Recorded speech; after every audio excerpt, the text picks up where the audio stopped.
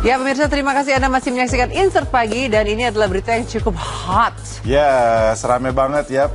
Apa ya bilangnya perseteruan atau nggak perseteruan juga sih? Karena kan nggak ada apa-apa dan kita mendoakan sebaik-baik saja. Ini hanya masalah follow unfollow itu Tapi aja. ternyata mes kabarnya sih memang ya ini karena al- follow unfollow ini menjadi rame. Tapi sebenarnya kabarnya mereka pun sudah memiliki masalah sebelumnya terkait urusan bisnis. Itu karenanya ya Ah. masalahnya gara-gara itu makanya ada follow unfollow. Tapi kalau kayak kita mungkin karena zaman sekarang sudah maju teknologi, media sosial sudah begitu luar biasa. Itu Yes. kayak gue udah nggak temenan sama lu. Mungkin gitu mungkin ya. Oh, simple sih sebenarnya, cuman ini kebetulan dia berapa juta followersnya juga ikut menyaksikan dan juga mungkin akhirnya mempertanyakan nih kenapa, apa alasannya. Tapi ada baiknya juga sih saling unfollow gitu. Jadi daripada kita kesal-kesalan sama orangnya, Hmm. kita ngeliat di timeline kita terus, akhirnya yang ada kita komentar ya. Komentarnya jelek, malah, malah jadi jelek, argumen. malah Jadi, jadi lebih argumen. bagus jangan dilihat sekalian ya nggak sih? Jadi yang menjadi masalah mungkin ini antara artisnya sekaligus para pengikutnya juga yes, mungkin para penasaran. followernya juga. Nah, kita akan melihat seperti apa sih perseteruan, kok perseteruan aja. Ya, pokoknya uh, bisnis follow unfollow ini Ya. beserta bisnis-bisnis lainnya. Jadi ini dia ya.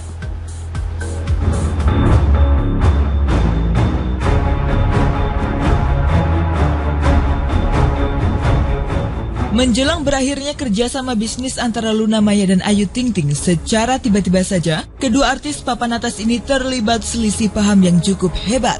Keduanya berselisih paham terkait kontrak kerjasama yang telah mereka sepakati pada akhir Juni hingga akhir November nanti. Ayu beranggapan karena kerjasamanya dengan Luna akan berakhir pada akhir November mendatang, dirinya pun merasa wajar jika harus menjalani bisnis sendiri atau tidak bersama Luna lagi, di mana selama ini ia menjadi model untuk produk-produk fashion milik Luna. Terhadap sikap Ayu yang demikian, Luna kemudian angkat suara. Mantan kekasih Ariel ini justru menilai Ayu telah melanggar etika bisnis yang selama ini mereka jalani bersama.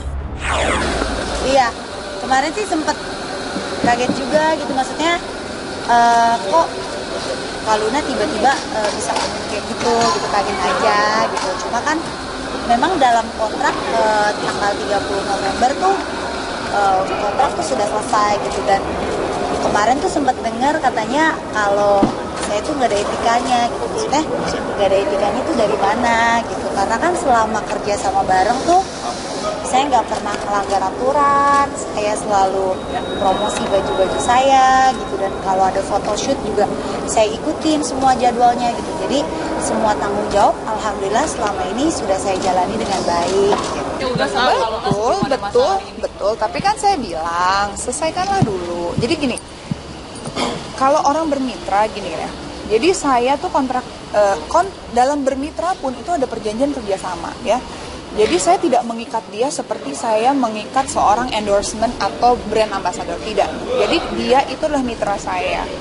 Artinya nama dia dan tenaga dia itu adalah investasi juga di sini.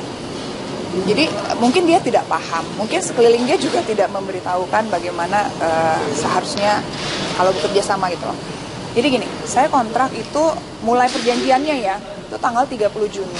Saya mulai jualan itu Agustus, Agustus ke November tuh baru tiga bulan.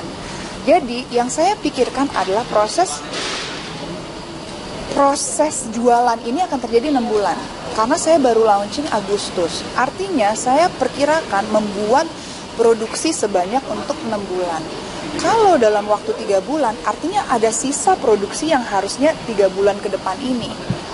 Saya bagaimana mau jualan kalau beliau juga eh, launching? 30 November selesai, 1 November, 1 Desember eh, launching. Apakah itu etis? Apakah itu secara kalau kita bisa dibilang berteman ataupun berbisnis, apakah itu benar dan baik? Tidak secara tidak secara kontrak tidak ada yang salah. Saya memberikan kontrak yang sangat leluasa, tidak ada yang dibebani, tidak ada yang di, di, dirugikan. Tapi jelas saya yang dirugikan.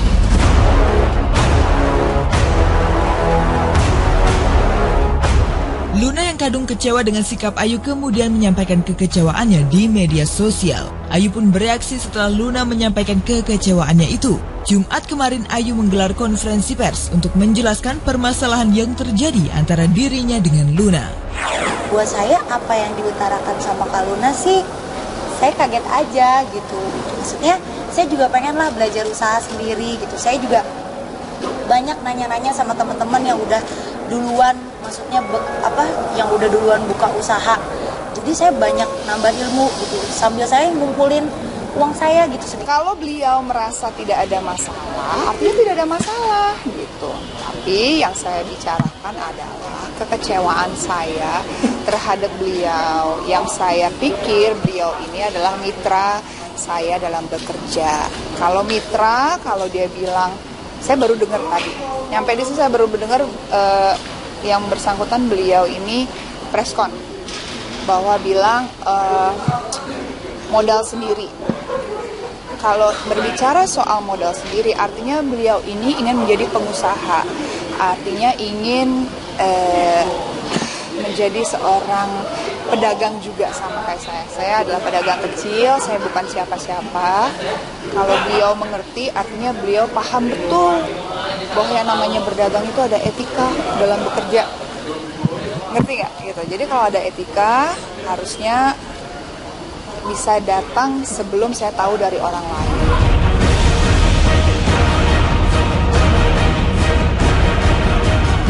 Selisih paham Luna dan Ayu tak sampai di situ saja. Luna yang masih memendam kekecewaannya dengan Ayu lalu melakukan aksi unfollow atau menghapus pertemanannya dengan Ayu di media sosial. Luna juga menghapus foto-foto Ayu di akun Instagramnya dengan alasan Ayu sudah siap untuk menjalani usaha seperti dirinya.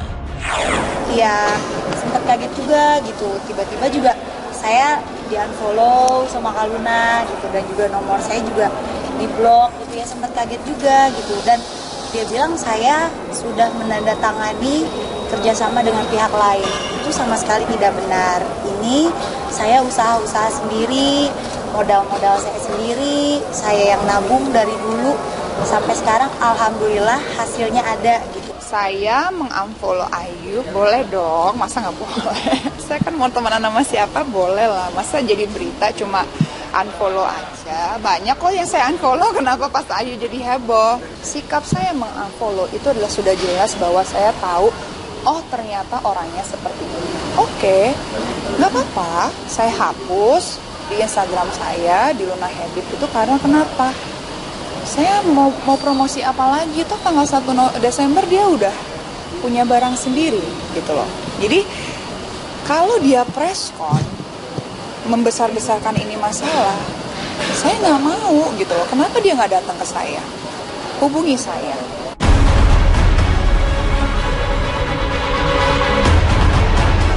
Selain namanya di unfollow dan nomor telepon di blok, Ayu juga mengaku mengalami kesulitan dalam menghubungi Luna lewat telepon. Namun pernyataan Ayu tersebut justru dianggap Luna tidak masuk akal. Luna menandaskan jika Ayu ingin menghubunginya, Ayu bisa melakukan berbagai cara. Selama itu niatnya baik. sampai detik ini saya nggak terima telepon gimana gimana nggak ada telepon sama sekali. Saya ngubungin iya. Sampai waktu itu saya juga ngejelasin iya gitu. Dan dia juga oh ya udah iya gitu. Jadi karena kan memang kontraknya itu kan habis tanggal 30 November. Eh, kalau pakai nomor telepon dia sendiri mungkin. Tapi kan bisa pinjam punya asistennya bisa pinjam punya nomor siapa. Ya kalau emang bener-bener pengen baik-baik banyak jalan menuju Roma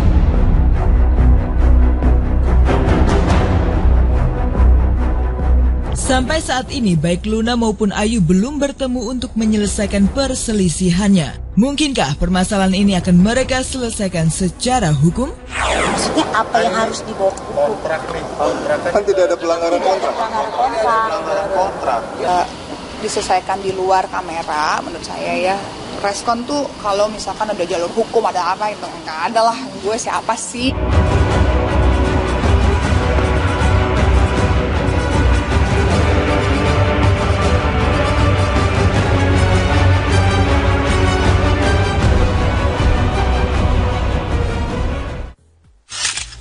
Tuh, kamu yang komen aja deh. begitu tuh. Dan ada bersambungnya nih kayaknya. Ini Ah. bersambung nih pemirsa karena memang eh, Ah, seperti yang dikatakan tadi, ini nggak cuma di- berhenti di sini saja, ya kan? Karena baru akan launching juga. Jadi Betul. pasti semua orang akan mengkait-kaitkan launchingnya itu dengan eh, selesainya kontraknya dengan Luna juga sehari sebelumnya. Jadi ya akan terus dirimain, akan terus panjang. Jadi kita Betul. akan memberikan update-nya tanggal 1 Desember nanti ya. Betul. Jadi, Jadi sebetulnya ini, dong ini. iya makanya walaupun walaupun ini pasti tidak diinginkan oleh kedua belah pihak, tapi akhirnya kita mengetahui bahwa Luna sudah ada Luna Habit berarti sekarang makin tahu juga Ayu juga akan mungkin launching dari tanggal 1 Desember. Kita mendoakan supaya dua orang yang berseteru ini adalah beliau dan kakak. Ini mudah-mudahan ya nggak ada. Tapi gini loh, inilah. gini loh, apa pun itu juga nanti pada akhirnya kan bisa diperbaiki juga. Siapa tahu mereka bisa berkolaborasi lagi. Kalau mungkin dulu mereka berkolaborasi cuma sebagai mitranya, sekarang mereka dua brand besar berkolaborasi jalan di catwalk kan juga bisa, ya nggak sih? Betul. Pokoknya kita